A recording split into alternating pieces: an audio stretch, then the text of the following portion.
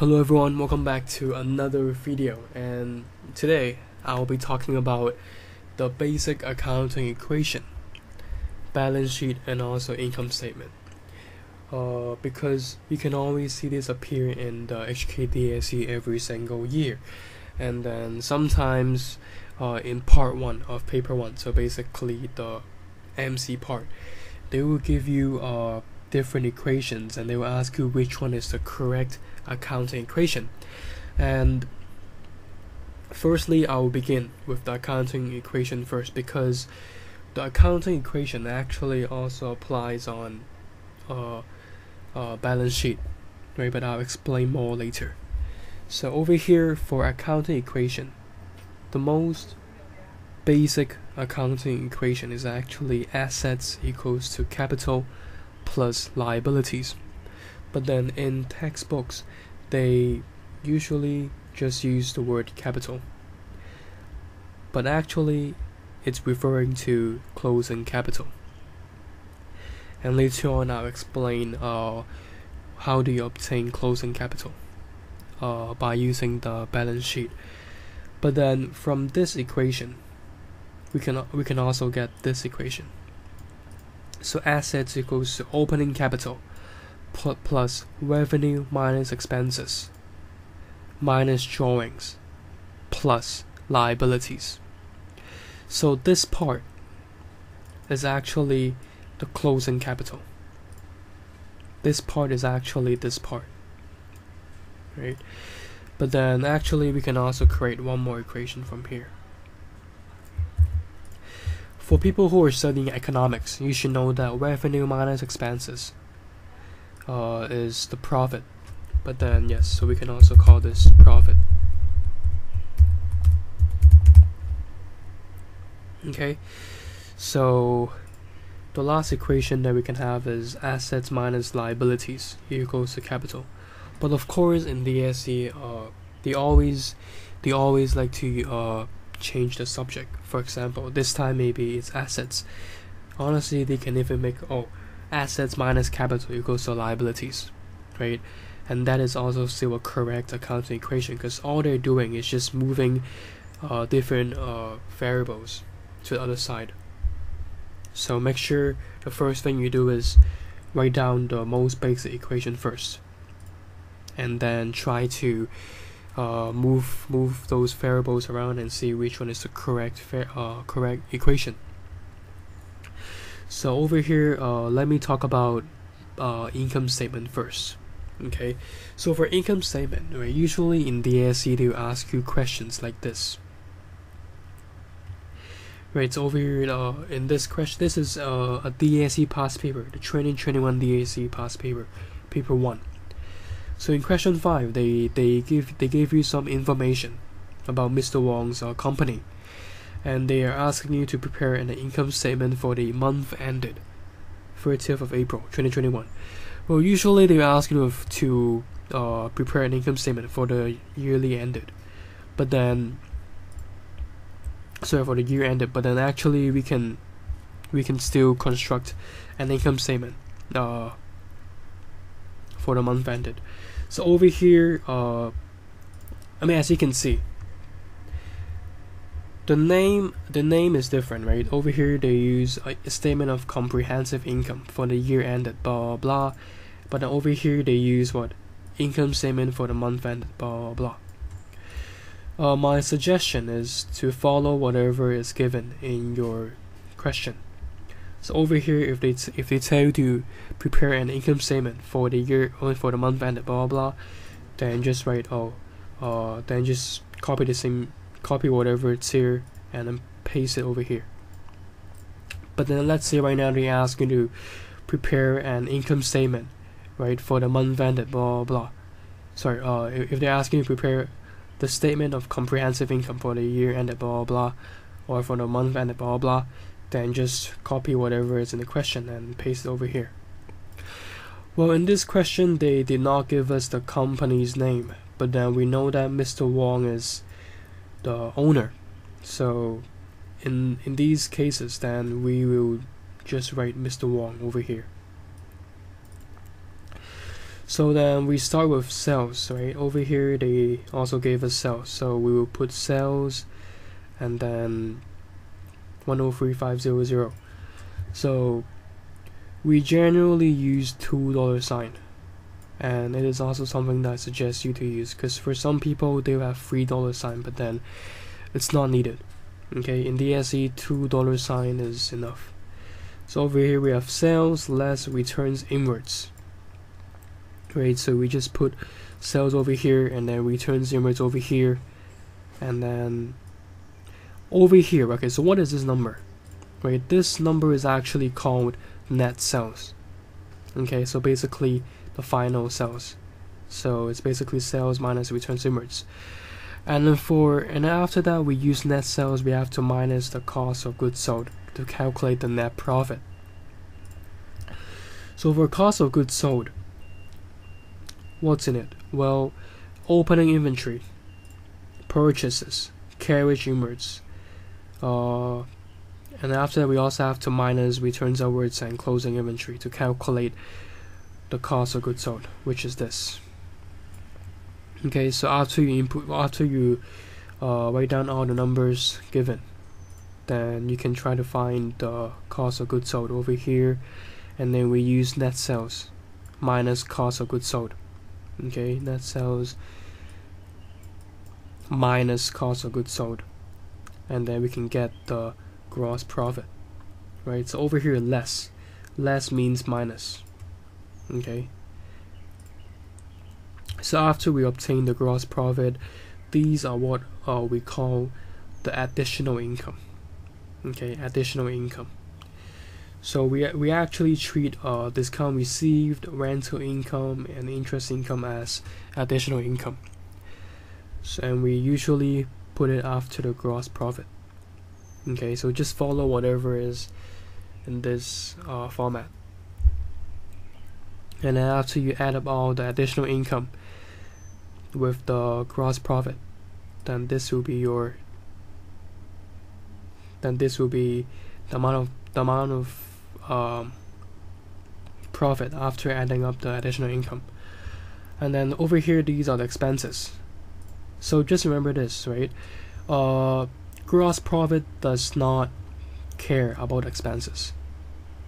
Or does not cover the expenses. But then for net profit okay net profit covers expenses as well. So after you, you after you add up the additional income then you have to minus the expenses. So these are the examples okay? These are the common uh, expenses uh, that are given in DSE but usually as you can see from here they only give you a few uh, a few accounts to write. So don't worry too much right? You can usually finish this in like 10 minutes or even less. See they only give you one two three four. They only give you six accounts. So it's it's much quicker and much uh, shorter than this. So don't worry if it's if it's short in DSE so after you do this uh, after you minus all of these all of these expenses then you'll be able to obtain net profit which is this number. And then remember to always underline it. And we're in DSE right it's not a must that they ask you to calculate the net profit right? In some cases there can be a net loss as well. So if your number is negative then put a bracket next to it. Okay put a bracket next to it and underline it. And over here instead of writing net profit you have to write net loss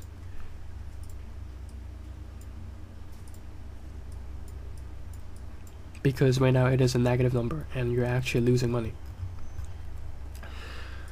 Uh, next, I'll talk about the balance sheet. So for balance sheet, it can also be called uh, as the statement of financial position, right? Asset, blah blah. Well, you may ask me, how can you effectively distinguish between a balance sheet and income statement? For me, I also had this problem of uh, mixing uh, these two different, I mean, these two uh, uh, financial statements up, but then it's actually very easy to differentiate them. Well, for balance sheet, we use asset, but then for income statement, we use for the blah blah and the blah blah. Okay, this is the most effective way to distinguish them. So over here, as you can see, right, we we have we we we also use we also use two dollar sign only. Okay, and then we always begin with non-current assets, right? So what are non-current assets? Well, non-current assets are basically the assets that are that are over one year. For example, land and buildings. For these assets, right, you cannot really, like, how do I say this? Like, uh, usually you own them for more than a year. Or you can say that these are actually uh, assets that are worth a lot of money. Then these we generally call it the non-current assets.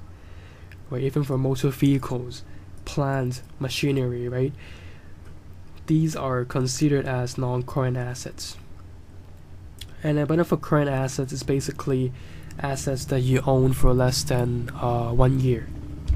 For example, closing inventory, accounts receivable, rental deposits, loan to blah blah bank cash. Okay, these are considered as current assets. So same thing over here, you write down all the numbers and you add them up and you can get the total non-current assets and over here we have the total uh, current assets and after here we use less so it basically means minus again we minus so we use total assets minus current liabilities sorry uh, minus total liabilities so we're actually using this this equation uh, for balance sheet but of course if you ask me if you can express your balance sheet like this if that's okay, yes, it's totally fine. But then for me, I prefer to do it like this. So I express the balance sheet as total assets minus total liabilities minus total capital. Okay, so less current. Okay, so we begin the balance sheet with non-current assets, but then later on, we always begin uh, the accounts with current blah blah. So current liabilities and then we put accounts payable, short-term loan, bank overdraft, blah blah, and then we put this is the total current liabilities, and then we have non-current liabilities, so we put it over here as well. But to be honest, I'm not sure what's wrong with this PDF, but then uh, it should be over here. Okay, this should be where you put down the total non-current assets, the total current total current assets over here. So basically horizontal to this. Okay, I'm not sure why it's it's down here, but it should be up here. Okay. So after you minus the total as uh, total assets with the total liabilities, then the amount of money you have left, I mean, or the number over there, it should be equal to total capital, right? And then over here we have to write oh finance by dot dot and then oh capital underline. Remember, we have to underline these accounts. So current assets, non-current assets, we have to underline them. And then here we begin with balance as at blah blah. Well, usually, for example, in this year's uh, DSE, the 2021, paper one, question uh, 5b, they ask you to prepare an income statement for the year ended, blah blah. And over here, they actually gave you the opening capital. So here, capital, 1st of January 2019. This is the closing, oh, so this is the opening capital. So what we have to do is very simple. Then we simply write balance as at 1st of January 2019. So we have to transform this into the form of this. Okay. So then we put the opening capital here, and then we have net profit, and then we have assets introduced, and then we have to minus drawings, less again. So minus drawings, and then you're able to get then you're able to get this, which is the closing capital. Well, now, I'm not sure if you find this familiar. Okay, oops. Over here, right? This is basically okay. This is closing capital. And if you look back at this equation over here, we're basically doing the same thing. We use opening capital plus net profit minus drawings plus liabilities. We're over here, same thing. Opening capital plus net, uh, net profit minus drawings. Okay, but then if there are no assets introduced, then there's no need to write this account. You can just ignore this if it's not given. Okay. So it's basically same. Remember, make sure you write balance as a blah blah. You cannot write opening capital here. Okay, same for here. You have to write inventory instead of closing inventory. So that's it for this question. Sorry, that's it for this video. If you have any more questions, feel free to ask me and make sure you subscribe and share this video with your friends or uh, other students who are in need. And if you want to hire me as a tutor, feel free to contact me as well on Instagram, on WhatsApp. And you can also go to my website for more information, as I also uh, made some math tutorial videos there. So I hope you guys like this video and goodbye.